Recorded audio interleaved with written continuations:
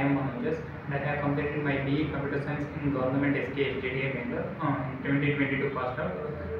I, uh, one of my friend uh, suggested to join JSPIDER and I joined JSPIDER on uh, August uh, 25th, uh, 2022 and I got placed in uh, February uh, 25th. Uh, it takes uh, six months to uh, uh, uh. Uh, uh, uh. Uh, uh,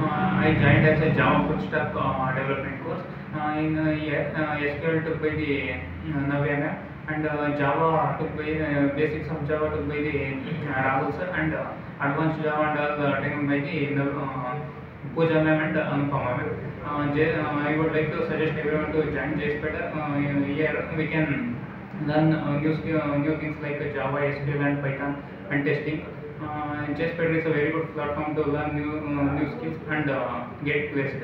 And here I would like to thank uh, Navya Anupama and Pooja and in HR, Shu and priyaman.